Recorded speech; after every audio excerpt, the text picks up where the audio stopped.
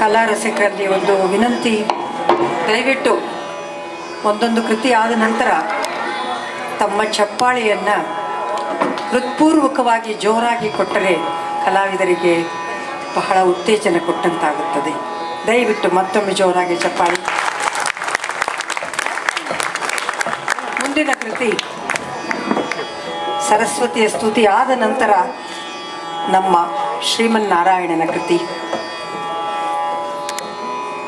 ಶ್ರೀ ಪುರಂದರದಾಸರ ಕಾಲದಲ್ಲೇ ಇದ್ದಂತಹ ಶ್ರೀ ಅನ್ನಮಾಚಾರ್ಯರು ಆಂಧ್ರ ಪ್ರದೇಶದಲ್ಲಿ ತಿರುಪತಿಯ ಅಂತ ಶ್ರೀನಿವಾಸನ ಅಂತರಂಗ ಭಕ್ತರು.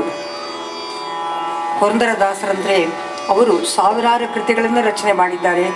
ಅದರಲ್ಲಿ ಸುಪ್ರಸಿದ್ಧವಾದದ್ದು ಭೌಳಿ ರಾಗದ ಶ್ರೀಮನ್ನಾರಾಯಣ.